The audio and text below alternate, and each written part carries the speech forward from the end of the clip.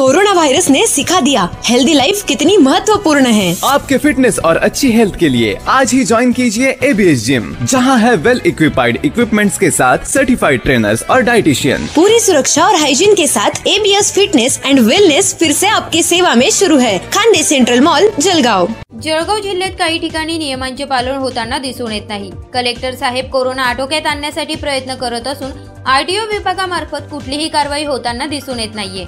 जळगाव शहरासह ग्रामीण भागामध्ये सोशल डिस्टन्स सोबत विनामास्क खासगी वाहनात वाहतूक होताना दिसून येत आहे. जिल्ह्यातील चोपडा तालुक्यामध्ये अवैध प्रवासी वाहतूक मोठ्या प्रमाणावर सुरू असून अक्षरशः गाडीच्या टपावर बसून अवैध प्रवासी वाहतूक केली जाते आहे.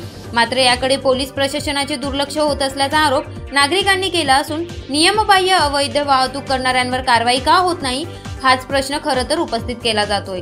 दुर्दैवाने अशा अवैध प्रवासी वाहनांचा अपघात झाल्यास मोठ्या प्रमाणावर जीवितहानी होऊ शकते. एवढंच नाही तर विनामास्क फिरणाऱ्यांवर दंडात्मक कारवाई केली जाते.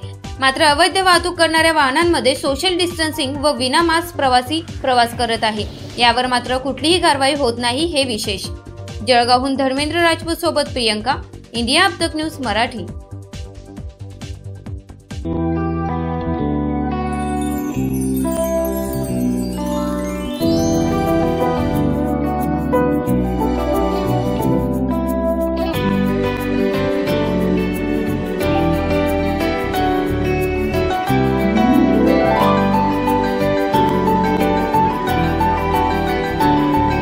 प्रामाणिकता शुद्धता आणि पारदर्शकतेचे प्रतीक म्हणजेच रतनलाल सी बाफना ज्वेलर्स जहां विश्वास ही परंपरा है।